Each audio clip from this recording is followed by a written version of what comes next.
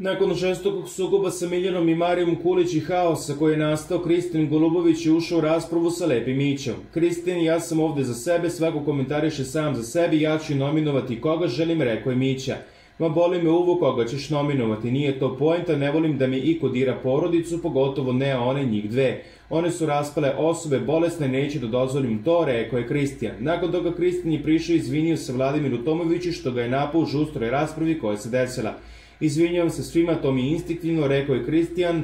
Prišao je Tomoviću i rukovao se sa njim, a Tomović se na to nadovezao. Nema veze, u situacijama kada se pominje porodica, u ovakvom kontekstu i u ovakvom smislu imam potpuno razumevanje, rekao je Vladimir Tomović Kristinu Goluboviću.